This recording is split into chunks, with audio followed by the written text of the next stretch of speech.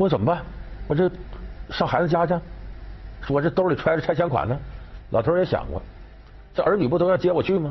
我上谁家去？上谁那也不对，干脆吧，我就把这拆迁款分了，儿子一份，女儿一份，我自个儿再留一份。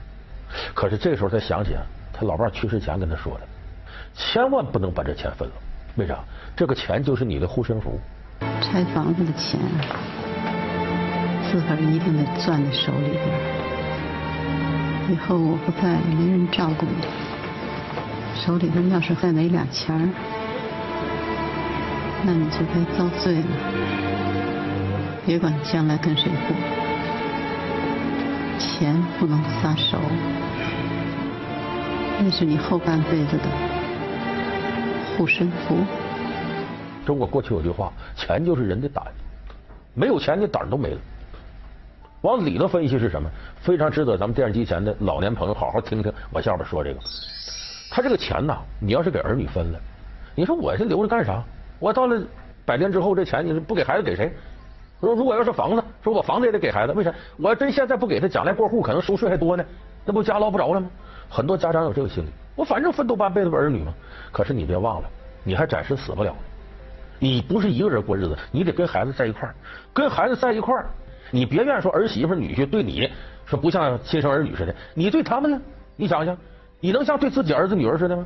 这有个老太太我接触过，跟我说，我说你这家庭挺幸福，哎呀不行，我那儿媳妇不好，你说下了班啥回来还得我儿子跟他一块做饭，你看女的在家不做饭，啊在家里头经常是家务活也不干，还得我儿媳儿子跑来跑去的。我说那你女儿不常回来看？哎呀，我女儿嫁的可好，到那家就啥也不干活，都男的干活，可好了。你看，你对你女儿和对你儿媳妇截然不同的两种态度，你怎么能反过来一定要求这儿媳妇对你像亲妈似的呢？像亲爹似的呢？所以说，没有血缘关系，他隔着心。那隔着心，你别忘了，你跟他在一块过日子，他如果要对你摔摔打打的，就是你儿子对你好，你女儿对你好，要是儿媳妇和这个女婿对你不好，你琢磨琢磨，这家庭气氛能和谐吗？你就说这个进门换拖鞋的事吧，我跟他说了多少次了，大庆您进门换鞋，他就是不换，他就是不换。我觉得他就存心跟我作对。那那厨房，你自己进去看看，那现在那能用吗？我跟你说，那那装修不能要了，得换啊。那哪儿哪儿都是粘手的，那最后不还得我跟着他屁股后面擦？爸，您回来了。哎。你现在要把这钱夸分给他了，反正老头钱到我手了，哎，我也不用对你点头哈腰的，他那态度可能就变了。你不给他，他心里琢磨，我这家有点事得求老头，老头手里有钱，他就得敬着你。这个东西你听起来挺残酷，说一家人怎么还能分这么些心眼？那没办法，人就是这么复杂，亲兄弟还明算账呢。你手里拿着钱，你记住，谁有都不如自己有。儿女再有，没有自己有好。我自己兜里揣着钱，我就仗义，我就有胆。所以咱们有的老年人一想，我不给儿子给谁呀？你可千万谨慎，宁可这钱在你兜里多捂一会儿，你别轻轻易易撒出去。电视剧《有你才幸福》改编自小说《别把我一个人留在世界上》，由李雪健、陶慧敏、刘佩琦等主演。电视剧一经播出，因为贴近生活的内容而获得观众认可。该剧涉及老房拆迁、黄昏恋、房产争夺、啃老、空巢等诸多问题。那么，这样一部讲述老年人的电视剧，为何会获得广大观众的喜爱？老梁故事会为您讲述《有你才幸福之养儿难防老》。好，欢迎您回到由中国酒魂汾酒冠名赞助播出的老梁故事会。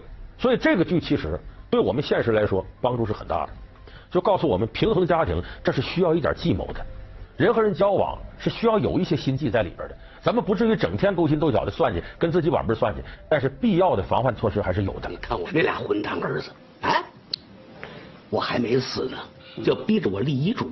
这个遗嘱写好以后呢，还得去公证啊，证明是我。自愿的，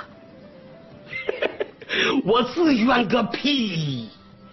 我告诉他们了，我要是留遗嘱啊，就留给我老伴儿。我老伴儿要是死在我前面呢，他就把遗嘱留给我。啊，要是我们公公俩脚前脚后的一起没了，就把那些钱呢，都捐给那些想念书、家里又没钱的穷孩子。这说什么，也不能把这钱留给我养的那两个白眼狼。不喝了，我不喝了。哎呀，那么说的事儿呢？很多人说，电视我也看，房子怎么不拆迁，哪有这么多事儿呢？但是眼下中国人，你还真离不开这房子，因为房子有一个非常重要的作用。这是这些年来中国进入老龄化社会以后，大家越来越发现的一个问题，就这房子可以养老。怎么养老呢？它有多种多样的方法。如今，我国六十岁以上的老年人已有一点七八亿，预计到二零五零年，每三个人中就将有一位老年人。政府也在积极寻求更适合中国人的养老方案，例如中国的以房养老。